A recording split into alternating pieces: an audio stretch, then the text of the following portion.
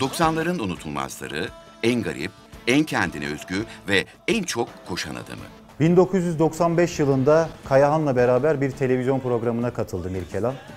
Klibini yayınlattı, şarkısını söyledi. Sonrasında olanlar oldu.